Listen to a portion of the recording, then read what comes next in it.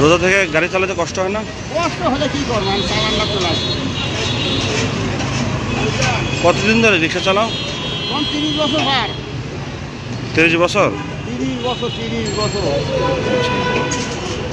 আহ, তুই মানে গাড়ি কি জোরে চালাতে পারো?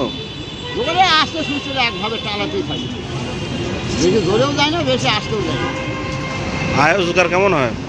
রোজগার কেমন হয়? বাবা তাহলে আমরা এই তাহলে আমরা এই একটা চালাই হুম? আয় উঠলে বেশি থাকে কোনো প্রকারে দিন যায়। যায় কষ্ট হয়ে যায়।